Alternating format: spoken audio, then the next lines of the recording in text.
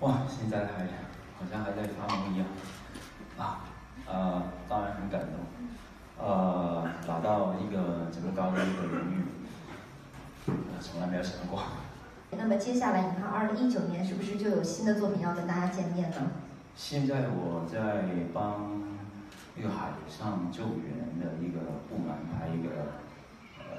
讲海上救援的一个故事。其实我自己每一个故事，像红呃湄公行动、红海行动，其实也是因为它本身那个里面的一些小的事情打动我。呃，因为当时候我看了那些真实的片段的时候，看到那些人、那些救援队，其实他们只是一个拿很一般的工资，去